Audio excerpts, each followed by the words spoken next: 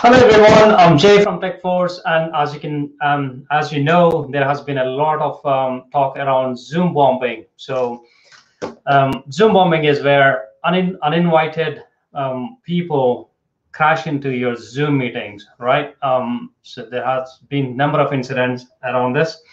So what I have um, decided to do is I was, I was I decided to do a live demonstration of how it can happen, right?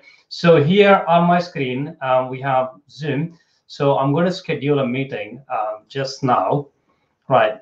Zoom is really good, right? Simple, um, apart from security just now, right? But you can get that in control. So let's uh, let's see how we can do that. So okay, I have started a meeting here. Uh, you can't see my video because my video is being used for live streaming here. And um, what I'm going to do is here is my virtual machine. So I have a separate PC, let's say, and I'm going to join my, well, I'm going to do the Zoom bombing here, right? Um, so what's the meeting ID is two, two, two, two, two. right. J 912 911 911 198. Right. Open Zoom.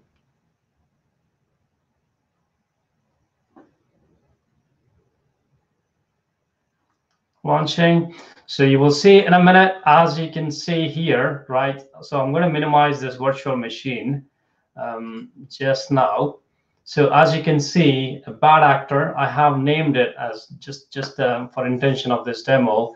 So I just joined without um, without the invitation. All I know is the meeting ID. So the first step to prevent this is to not to advertise your meeting ID. In this case, my meeting ID is randomly generated. I will show you how in a minute. But you know, this is how how easy it is to just you know if somebody knows a bad actor knows your um, meeting ID, they can just join in. It's the same with the phone um, as well. So here, let's say uh, right, let's uh, switch to the computer audio. Zoom numbers are same most countries, you know, similar numbers. So if a simple Google search shows up what numbers they are. So I'm going to see if I could um, just dial in and join with, with the phone, right? So let's see, the number is here. Welcome to Zoom. Meeting ID followed by hash. 912911198 hash. Enter your participant ID followed by hash. Otherwise, just press hash to continue.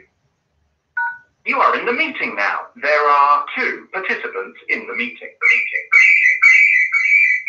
Right. As, as you can see, my mobile number on the screen right now.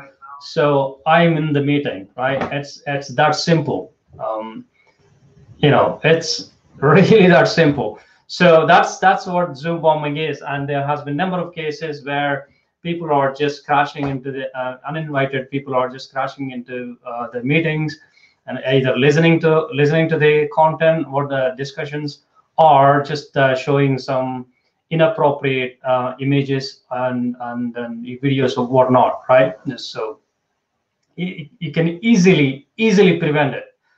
Uh, there are three steps to prevent, right? First things first, don't advertise your meeting ID on a public forum or social media.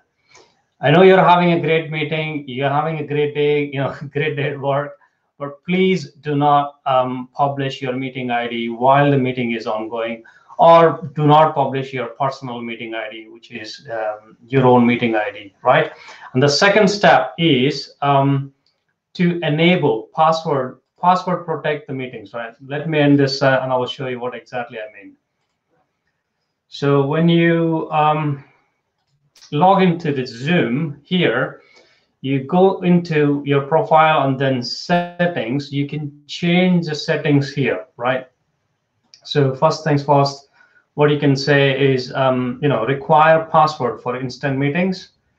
So in that, in this case, um, when you initiate a meeting from the desktop app, it will ask password for the participants. When you send um, the invitation, the password is already embedded in the invitation when somebody receives it, so they don't need to enter the password. But for uninvited people, it will ask for the password, so they cannot join anymore. And also, I recommend you do the uh, required password for um, you know people joining in by the phone as well, right?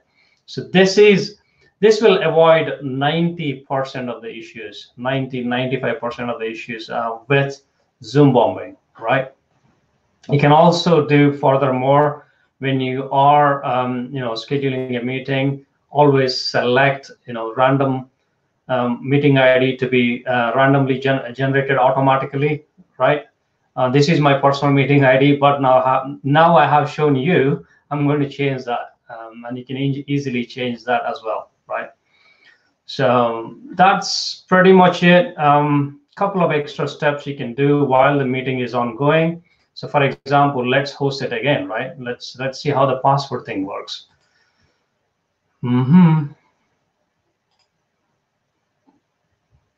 Join. Ah, let's let's just do join with the phone call. Right. Okay. Now let's do this again. Okay. As you can see, the meeting ID is now different because it is automatically generated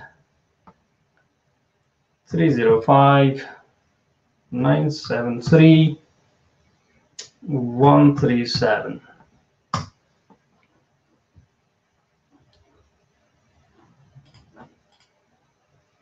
Hopefully this works. Right, there you go. It's asking for meeting uh, meeting password. So I cannot, if somebody uninvited user cannot enter, I'll, although I know your meeting ID, right? Same with the phone um, joining as well, right? Let's let's see this. Welcome to Zoom. Enter your meeting ID. Enter my meeting ID. What was that again? You have not entered any numbers. Please re-enter your meeting ID followed by hash. 305 973 137 hash. Enter your participant ID followed by hash.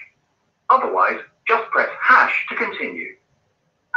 Please enter the meeting password followed by hash. So, as as you heard it just now, I need a password to enter. You have not so any numbers. Please re-enter. This is how you can protect. And a couple of extra steps. You must must enable the password.